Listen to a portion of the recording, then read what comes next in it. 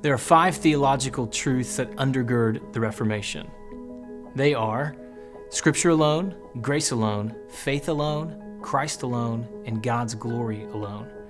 I want to talk about this last one, God's glory alone, or Soli Deo Gloria.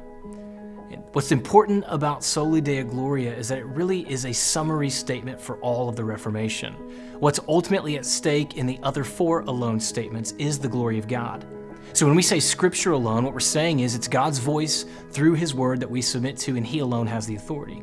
When we say Christ alone, Jesus as God in the flesh through his death and resurrection is the exclusive object of faith. He is the way, truth, and life. And faith alone and grace alone, it rightly gives God the credit as the initiator and secure of salvation. This is Paul's point when he says, so that no one may boast. Why?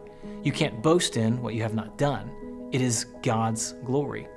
In some ways, the Reformation then is a glory movement, confronting those who would try and stand in a space that is reserved for God alone, and rightly orienting all of life, but especially salvation, around God's glory.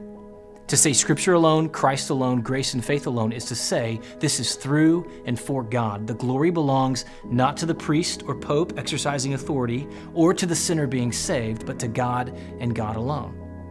Why is this so important? Consider what Paul says in Romans chapter 11 verse 36.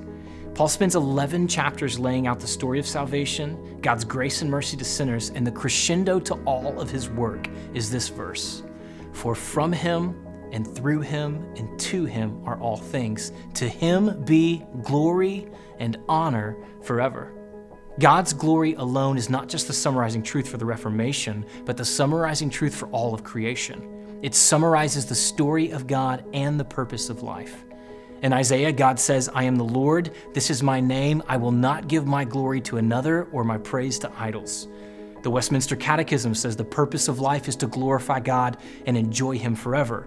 John Calvin says that all creation is the theater of God's glory, the mirror of the providence and power of God. If life and salvation is for God and His glory alone, it then releases our hands from grasping for glory that is not ours and opens our hands to offer the worship that God deserves. And it is then that we see, as the reformers did, that God is not the means to an end, He is both the means and the end. It's through Him and also for Him. The great prize of Christianity is not that we get from Him or even that we get with Him, but that we get Him. To us be the joy of knowing Him, and to Him be the glory for who He is and all that He does.